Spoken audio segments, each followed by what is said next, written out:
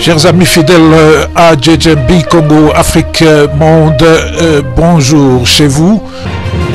Bienvenue à la deuxième partie de notre émission où nous faisons le parallélisme entre le projet de développement de 145 territoires de la République démocratique du Congo et le projet Ubuntu 2025 de Families Against Poverty International Africa ou FAPI en cours ou Families contre la pauvreté, rapidement traduit en, français, nous avions dans la première partie posé la question de savoir si le projet 145T, comme on l'appelle, ne s'était pas inspiré ou n'était carrément pas le projet Ubuntu 2025 que nous avons dans les moindres détails longuement partagé dans les médias pour justement attirer l'attention du gouvernement sur le modèle de projet de société qui pouvait vite nous sortir du gouffre à une période où les politiciens étaient distraits avec les querelles de positionnement. Il faut noter que le projet 145T a été considéré par les organismes de développement de l'ONU comme le meilleur programme de développement jamais entrepris en RDC et bien d'autres pays. Entre-temps, le projet Ubuntu 2025 a déjà produit des merveilles dans certains domaines dans le monde, comme nous l'avions détaillé dans la première partie, où nous nous sommes concentrés sur Ubuntu 2025 et le cas particulier de la RDC avec ses problèmes et ses opportunités.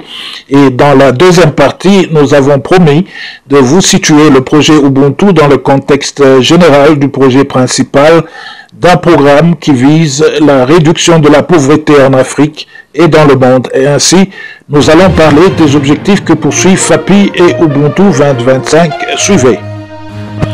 Il y a des choses qui doivent coûte que coûte être prises en compte si nous voulons que le projet 145T soit un grand succès et nous sommes disposés à aider dans ce sens pourvu que nous soyons invités à le faire.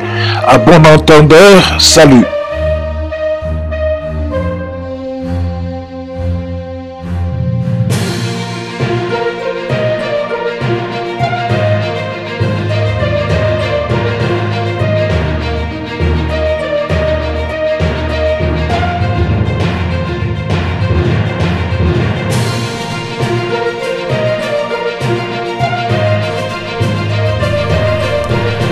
Parlons du projet Ubuntu 2025.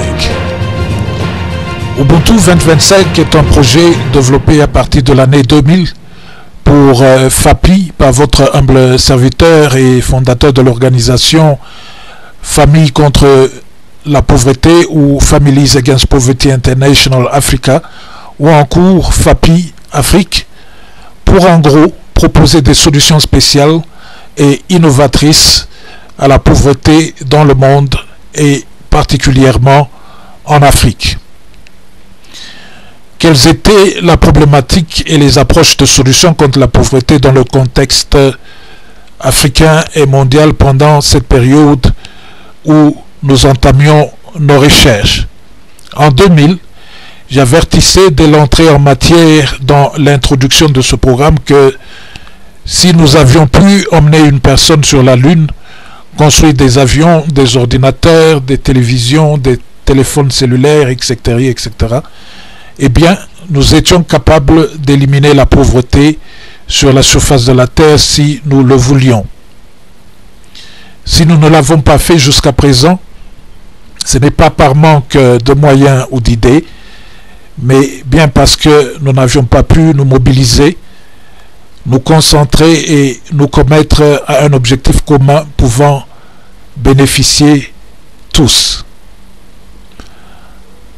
En ce temps comme bien avant et après, d'abord, un, comme le dit M. Mac Malloch Brown, administrateur à l'UNDP, la pauvreté en Afrique exigeait une intervention urgente.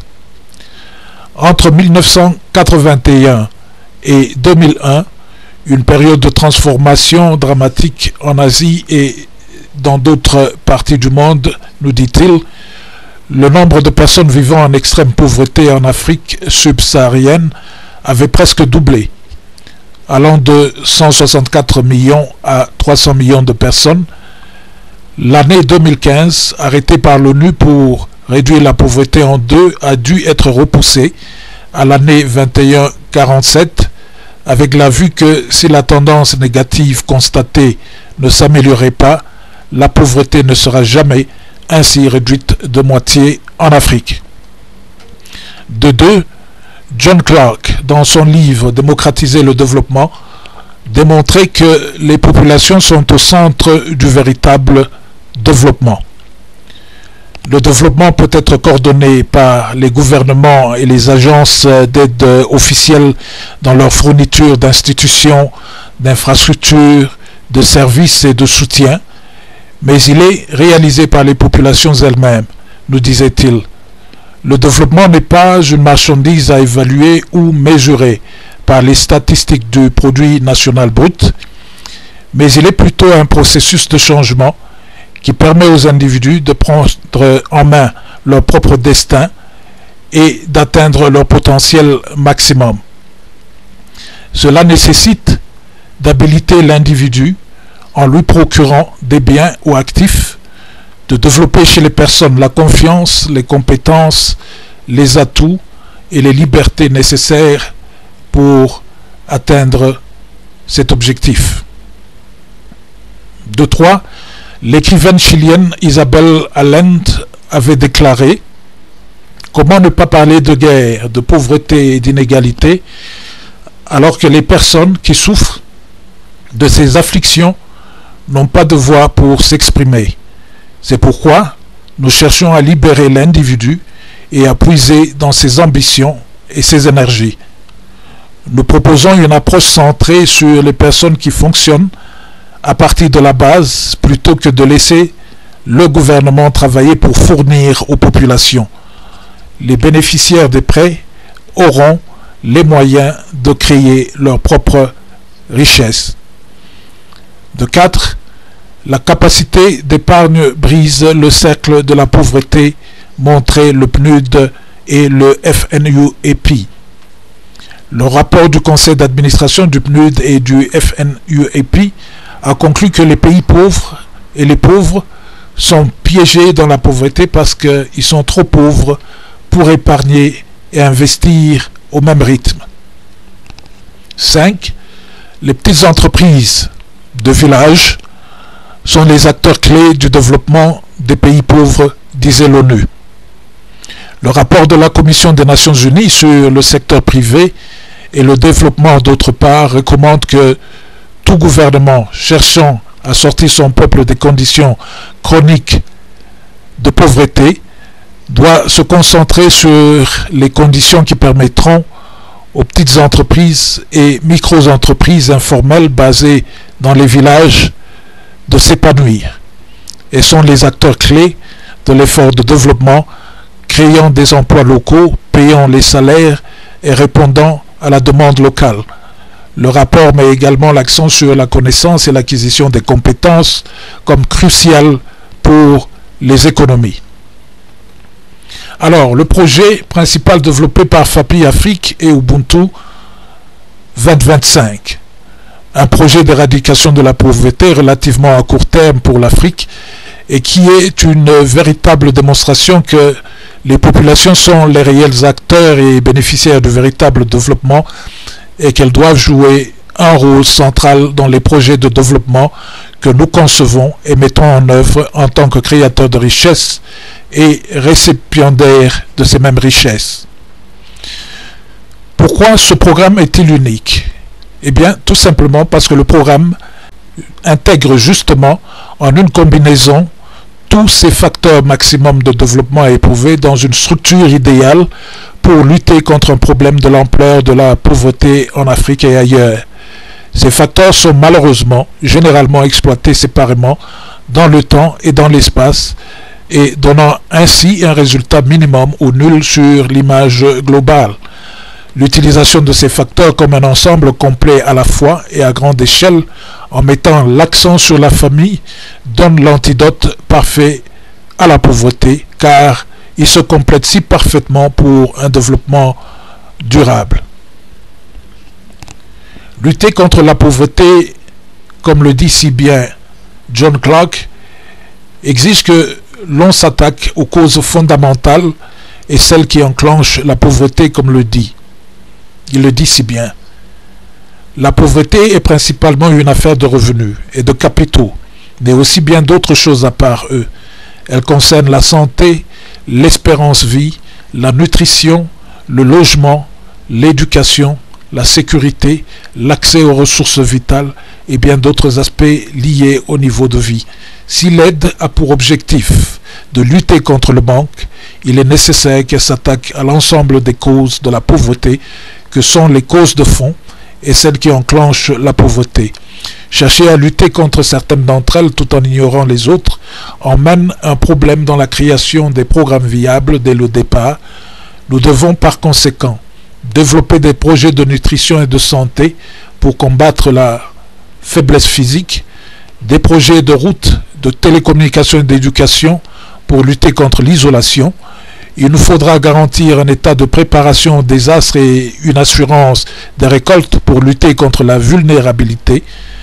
Les opportunités d'accroissement de revenus doivent être accompagnées d'une redistribution des ressources, des libertés politiques et d'associations syndicales, de la législation pour assurer les droits de l'homme, des programmes pour élever le statut aussi bien que le revenu des femmes et la protection de l'environnement.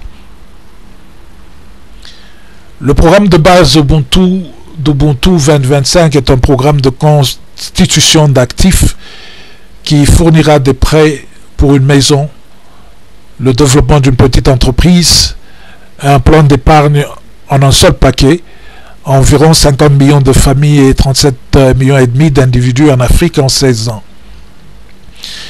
C'est autour de cette fondation que viennent jouer d'autres projets stratégiques importants du programme Ubuntu 2025 pour contribuer à la lutte contre la pauvreté et les causes sous-jacentes. Ces projets stratégiques sont notamment des projets d'accès à l'éducation et à la santé pour tous à travers des services de qualité gratuits ou moins chers, plus d'écoles, plus de centres de santé, l'accès gratuit à la nutrition et aux soins de santé dans les écoles pour les élèves, le développement des infrastructures vitales, l'accès à la formation, aux outils aux machines pour les petits agriculteurs grâce aux stations tracteurs-machines, la création d'un grand nombre de centres d'enseignement supérieur à distance comme solution idéale pour l'Afrique, des projets visant à promouvoir la protection de l'environnement, l'amélioration du statut et du revenu des femmes, les droits de l'homme et les valeurs démocratiques et une répartition équitable des ressources nationales entre les citoyens. Que les Africains doivent prendre leurs responsabilités face à la pauvreté n'a jamais été aussi clair, car cela signifie, parce que nous avons toujours pensé, qu'il faut se réveiller et travailler dur pour sortir de sa misère, quelque chose que nous faisons presque tous les jours, et ne signifie pas plus que travailler dur pour un morceau de pain pour la journée dans le contexte de l'Afrique d'aujourd'hui. La responsabilité est plutôt une question d'espoir, des gens étant tout ensemble donnés la possibilité de poursuivre un grand objectif commun à travers un plan stratégique de développement durable qui donne une direction, une motivation un sens à la personne ordinaire, car traitant des besoins fondamentaux des gens. FAPI Afrique invitait les familles, les particuliers, les donateurs, les gouvernements, les entreprises et diverses autres organisations à profiter de l'opportunité unique que nous avons de faire de la pauvreté en Afrique une chose du passé en soutenant de toutes les manières possibles un tel programme là où il est appliqué. Quels sont donc les objectifs que poursuivent Ubuntu 2025 Mobiliser 188 milliards, ça c'est un. Donc, mobiliser 188 milliards de dollars par an de ressources africaines pour financer des projets stratégiques pour aider à éradiquer la pauvreté en Afrique d'ici 16 ans. Les peuples africains et les gouvernements africains doivent comprendre que nous pouvons vaincre la pauvreté par nous-mêmes et en peu de temps, si nous sommes mobilisés, engagés, utilisons nos ressources à bon escient, en utilisant un plan stratégique approprié. On estime que 188 milliards de dollars par an sont nécessaires pour éradiquer la pauvreté en Afrique en 16 ans, en utilisant un plan comme celui-là. Les gouvernements africains sont appelés à canaliser 173 milliards de dollars par an pendant 16 ans, soit un tiers de leur budget annuel de 500 milliards de dollars vers un plan qui améliorera leurs économies et leurs sociétés comme jamais auparavant. C'est au peuple de relever le défi de sa responsabilité et d'utiliser son pouvoir ultime pour élire des dirigeants qui doivent le soutenir vers son autonomisation ultime. 15 milliards de dollars supplémentaires par an devront être collectés auprès de 500 millions de personnes en Afrique, économisant 2,5 dollars par mois et les contribuant au fonds commun dans un engagement au changement, à l'autonomisation personnelle et à l'éligibilité au programme de prêt. En effet, les gens doivent être mis à défi de fournir le budget complet si nécessaire en envisageant d'augmenter leur épargne mensuelle à environ 30 dollars.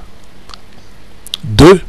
Comme objectif, offrir chaque année des prêts de 45 000 dollars et 15 000 dollars aux familles et aux individus relativement pour une maison, le développement d'une petite ou moyenne entreprise et l'épargne de 3 125 000 familles et 2 343 750 citoyens majeurs respectivement de manière à garantir un développement durable.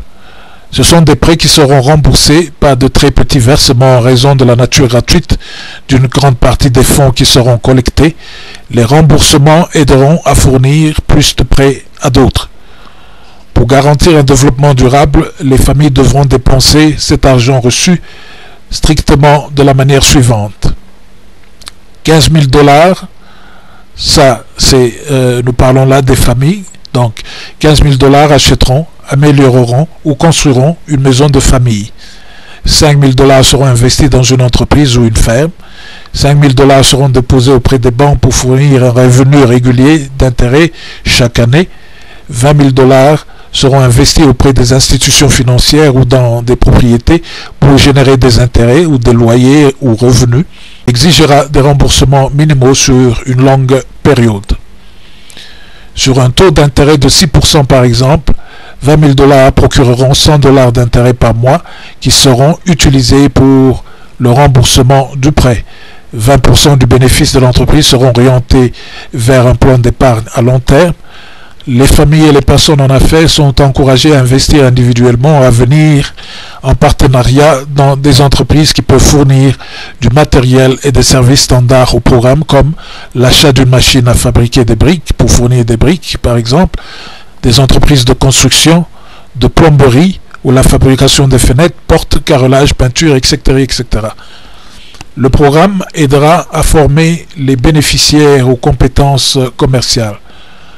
Comme nous pouvons le constater avec fierté, il s'agit d'un prêt qui prendra soin de lui-même.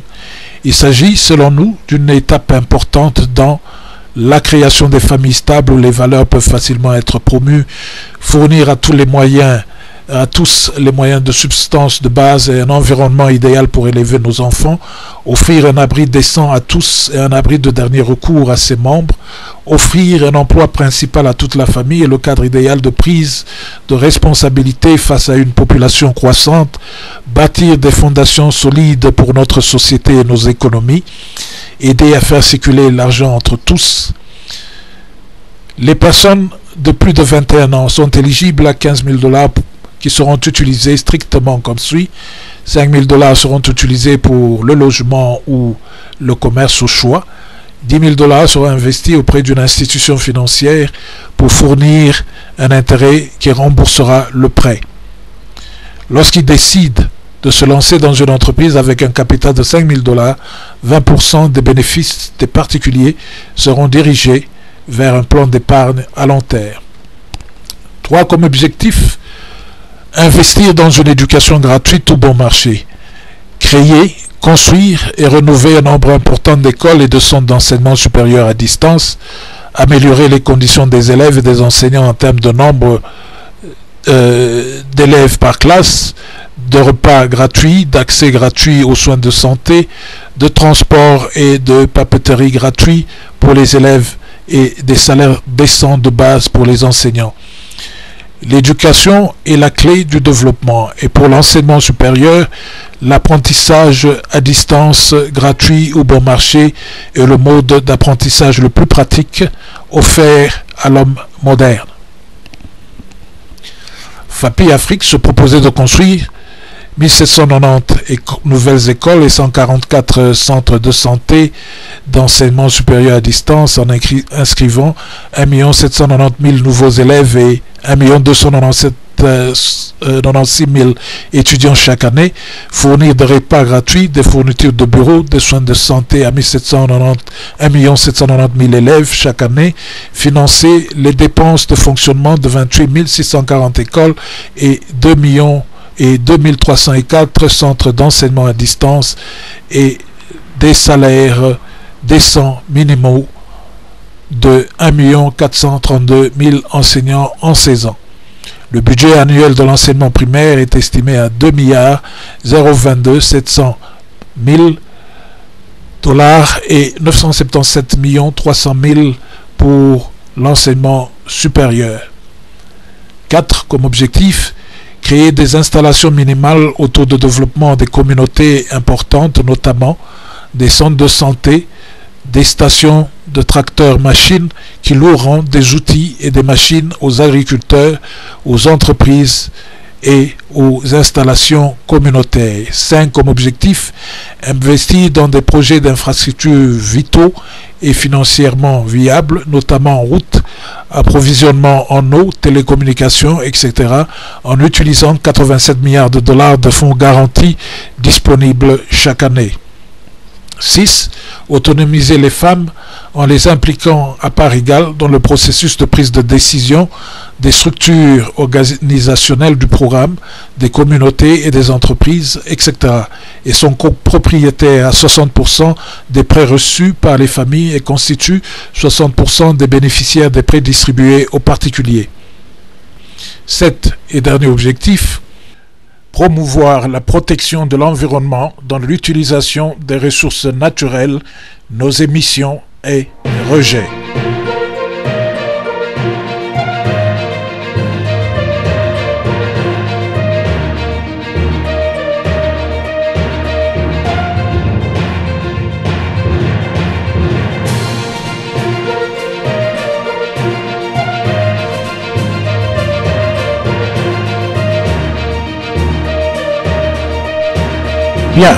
Voilà tout pour cette deuxième partie et sans doute euh, pas la dernière pour cet objet que nous considérons vital dans la mesure où le développement et donc euh, notre bien-être à tous sur cette terre est notre perpétuelle recherche. Nous espérons que vous avez trouvé votre compte dans le petit exposé que nous vous avons donné. La famille est non seulement la cellule mère de notre société, où l'individu naît et nourri et éduqué pour une société stable et prospère, mais elle devrait également être l'unité économique de référence sur laquelle nos projets de développement devraient se concentrer pour son habilitation et ainsi gérer au mieux des fonds de développement qui sont souvent rares.